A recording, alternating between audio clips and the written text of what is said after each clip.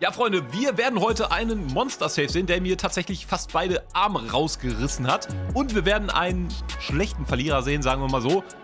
Wie das genau zustande gekommen ist, wer genau dieser schlechte Verlierer sein wird, das werden wir am Ende des Rennens natürlich dann sehen. Und mich würde wie immer brennt eure Meinung interessieren, was ihr dazu sagt. Deswegen, ja, ziehen wir uns jetzt mal genau, gemeinsam das Rennen hier rein. Die Lampen springen auf grün. Wir starten von der dritten Position, aber sind jetzt schon auf der zweiten Position, weil der Lambo ja quasi meinen Part eigentlich übernommen hat, nämlich er hat den Start verschlafen. Das passiert mir tatsächlich sehr, sehr oft, wenn ich nicht gerade von der ersten Position starte.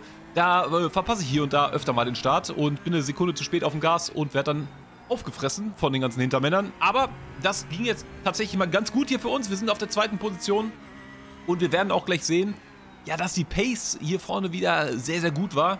Und ja, dass die Hintermänner, ihr seht es jetzt auch schon, die Lücke ist direkt auf, ja, sagen wir mal, knapp über eine halbe Sekunde, sechs, sieben Zehntel aufgegangen und das hat mich schon wieder relativ positiv gestimmt. Das ist immer ein sehr gutes Gefühl, wenn man nach hinten erstmal nicht die ganze Zeit ja, die Augen nach hinten gerichtet haben muss. Hier sehen wir es auch, die Lücke ist aufgegangen und sie wird auch ja tatsächlich jetzt gleich noch ein bisschen weiter aufgehen, aber der Lambo da vorne, der hat gut angegast und da müssen wir jetzt erstmal schauen, dass wir da dranbleiben können. Wir sind hier ja, immer noch auf Brands Hatch unterwegs, wieder in einem 40-Minuten-Rennen. Das ist hier der letzte Tag gewesen auf Brands Hatch. Und ich finde es immer sehr, sehr geil, wenn man am Anfang der Woche, sag ich mal, anfängt und dann im Laufe der Woche merkt, bei einer Strecke, dass man sich immer weiter verbessert und dann, ja, am Ende der Woche im besten Fall natürlich regelmäßig vorne mitfahren kann. Und genauso war es hier auf Brands Hatch. Also wirklich, macht mir in iRacing sehr viel Spaß. Die Strecke hier, der Lambo schon mit einem ersten kleinen Fehler. Ist hier ein bisschen weit gegangen in Kurve 1 und da kann ich euch sagen, da wird gleich nochmal, ja, Ihr habt es gerade gesehen mit dem Safe. Da wird die eine oder andere Sache nochmal äh, gleich passieren. Ob wir das Ganze überleben, wie wir das Ganze überleben, das werden wir auch sehen. Hier schon wieder ein bisschen über Limit gewesen in dieser dritten Kurve hier auf Brands Hatch. Da will man den Schwung schön mit rumnehmen, schön schnell reinlaufen lassen. Aber wenn man das Ganze übertreibt, dann sieht das so aus wie gerade das erste X haben wir schon gesammelt. Und ja, X, X sammeln in iRacing, das ist auch so eine Königsdisziplin von mir. Das muss ich mir noch so ein bisschen abgewöhnen. So, wir springen doch mal ein bisschen weiter. Vier Minuten haben wir schon absolviert in diesem Rennen. Der Lambo gast weiter an da vorne. 1.20.7 war seine schnellste Runde, jetzt 1.20.8. Und wir sind wiederum jetzt eine 1.20.7 gefahren. Und davor die Runde eine 1.20.8. Also, wir haben uns hier ordentlich abgewechselt mit den Rundenzeiten. Also, komplett auf einem Niveau gewesen.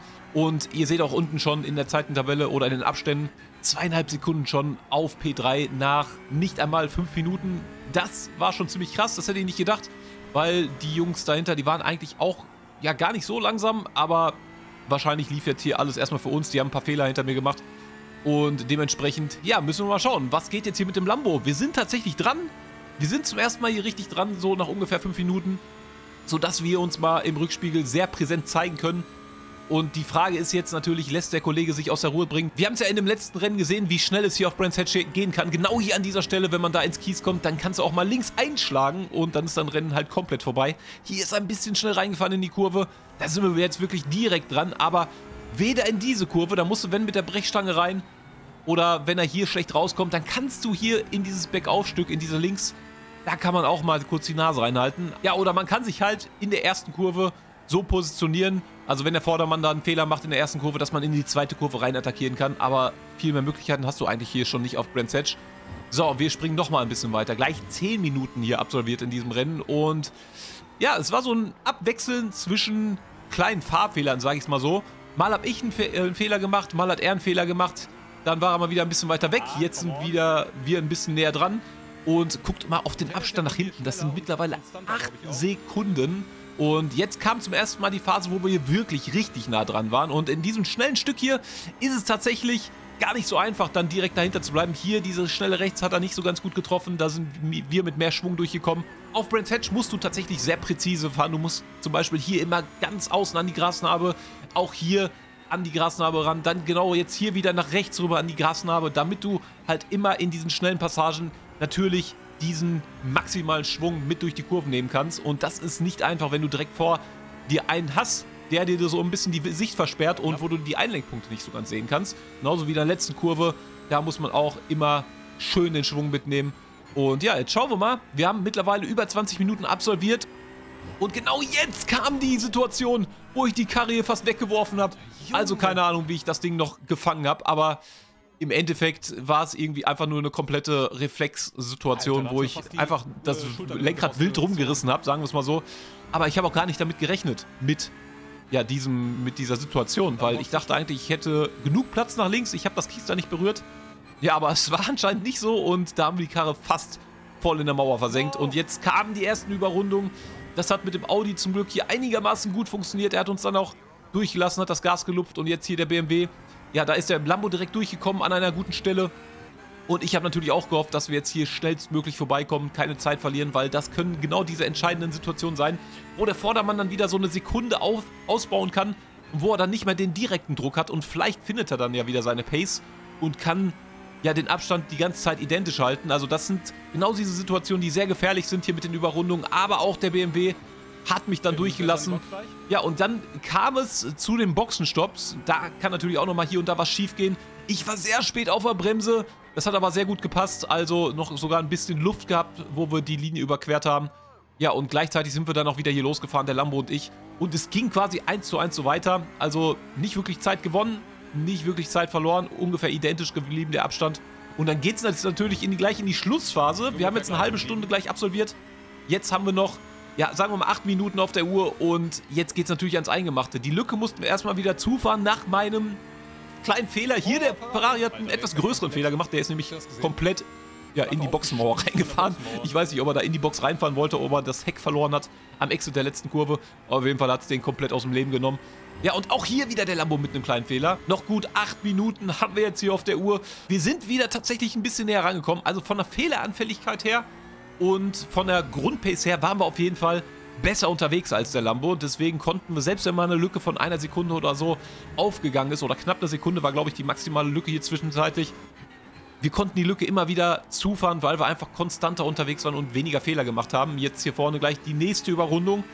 Wieder eine kritische Sache. Es kann immer das Zünglein an der Waage sein, aber auch hier der BMW hat den Rückspiegel geschaut, hat gesehen, P1 und P2 kommen die von hinten und da willst du dich normalerweise nicht einmischen. Es gibt immer hier so Spezialisten, die immer hier und da, ja, die Übersicht entweder nicht haben oder, keine Ahnung, das Ego zu groß ist, sonst was. Und jetzt sind wir hier wieder in der identischen Situation wie vor ein paar Runden direkt dran jetzt hier. Hier kannst du zum Beispiel auch eigentlich nicht reinstechen, weil die Kurve einfach zu schnell ist und ja, zu zweit nebeneinander durch diese vorletzte Kurve ist auch keine gute Idee. Jetzt sind wir hier wirklich direkt dran am Ende der Runde, aber das reicht nicht. Auch hier kannst du normalerweise schlecht innen attackieren, beziehungsweise die meisten machen einfach innen zu. Das Einzige, was du da machen kannst, du kannst außen ein bisschen mehr Schwung holen und dann hier vielleicht dich für diese erste Kurve pos positionieren oder spätestens für die zweite. Das kann man mal machen, so wie wir es jetzt hier gemacht haben. Ein bisschen mehr ausgeholt, aber er zieht natürlich auch wieder direkt hier nach innen und macht hier die Linie zu. Und das ist hier ganz schwierig, außenrum irgendwie vorbeizukommen. Also vorbeikommen geht schon mal in den meisten Fällen schon mal gar nicht, aber man kann sich positionieren und dann vielleicht hier in diese Links rein, wenn man gut daneben bleiben kann. Aber es ist wie gesagt sehr, sehr schwierig. Wenn du einen guten Fahrer hast, ist es fast sogar unmöglich. Aber unmöglich, äh, sagen wir mal so, ist ein Wort, was es eigentlich im, im Sim-Racing hier und da nicht gibt. Es kann so viel passieren. Und ja, deswegen gehen wir jetzt hier gleich in die letzten fünf Minuten rein. Und wo können wir hier vorbei, Freunde? Wo können wir hier vorbei? Wir haben die Fehler gesehen hier und da. Er hat die Fehler gemacht. Und es wird auch gleich noch eine Situation kommen, die hätte ich ein bisschen besser ausnutzen können. Werden wir gleich sehen. Aber jetzt erstmal wieder hier Mittelpassage gucken. Slow Car Ahead ist auch keine gute Nachricht, die du hier haben willst in diesem Sektor, aber der Kollege stand hier ganz rechts an der Strecke, am Streckenrand. Deswegen, da ist nichts passiert. So, und jetzt hier nochmal ganz außen an die Grasnarbe. Er fährt da sogar auf die Grasnarbe drauf, aber das kann auch hier und da schon mal so ein leichter Anzeigefehler sein. Also normalerweise, wenn du da auf die Grasnarbe kommst, bist du weg, wenn du da einlenkst und dann zieht sie das Heck rum. So, jetzt hier letzte Kurve, gut positionieren, gut den Schwung mitnehmen. Ja, da konnte ich nicht ganz früh aufs Gas gehen. Da seht ihr auch, der Lambo kann sich ja, ein bisschen vor mir halten und da haben wir nicht so eine gute Position, wie wir es gerade hatten. Deswegen müssen wir nochmal schauen. Die erste Kurve bin ich tendenziell ein bisschen besser durchgekommen, trotz meines Fehlers vorhin. Also da habe ich das Vertrauen sogar ein bisschen verloren. Hier habe ich mal kurz mich angetäuscht, um ihm zu signalisieren, ja, Kollege, ich will dich jetzt hier unter Druck setzen. Aber jetzt hier in der Schlussphase ist das eigentlich alles egal. Jetzt ist es einfach nur hier reines Verteidigen oder hier volle Attacke für mich eher gesagt und den Fehler, den kleinen Fehler, den er vielleicht irgendwo macht, komplett direkt ausnutzen. Hier war ich gerade auch schon mal wieder in der Situation, wo ich direkt an seiner Stoßstange dran war. Aber wie gesagt, in dieser schnellen Passage im Mittelsektor auf Brands Hedge, da kannst du eigentlich nicht daneben fahren, wenn dein Vordermann nicht einen dickeren Fehler macht. Hier vorne der Ferrari könnte auch wieder das Zünglein an der Waage sein. Wir wollen es nicht hoffen. Jetzt geht es gleich hier in die letzten Runden. Drei Minuten haben wir noch auf der Uhr. Und mich interessiert auf jeden Fall jetzt schon mal brennend, was ihr zu dem letzten kleinen Vorfall, der jetzt hier gleich passieren wird, was ihr dazu sagen werdet. Weil das ist immer so eine Situation, Rennfahrer sehen es aus erster Sicht oder aus ihrer Sicht immer so, dass sie im Recht sind. Ja, der andere ist immer schuld und deswegen werden wir jetzt mal gleich schauen, was dabei rauskommt. Aber jetzt erstmal wieder die Augen auf die Strecke. Der Lambo verteidigt sich hier natürlich wieder in Kurve 2 rein. Der Ferrari steht da vorne vielleicht schon ein bisschen im Weg. Also der war ja, für Kurve 1 natürlich noch zu weit weg, aber Kurve 2 kam so rangeflogen, dass er vielleicht sogar ein bisschen im Weg stand. So, der Lambo wollte sich hier erst verteidigen und dann hat er einen kleinen Fehler gemacht. Dann hat er nämlich die Tür offen gelassen. Aber ich habe den Fehler gemacht, dass ich es nicht konsequent ausgenutzt habe. Also es war, ah, sagen wir mal, so ein halbgares Manöver und da hätte ich im Endeffekt viel aggressiver reinpushen müssen, um ihm so ein bisschen den Weg abzuschneiden, damit er einfach nicht den Schwung hinten raus mitnehmen kann. Aber ja, das war quasi die Chance, die ich hier vertan habe. Also die erste Chance. Aber es wird noch eine Chance kommen.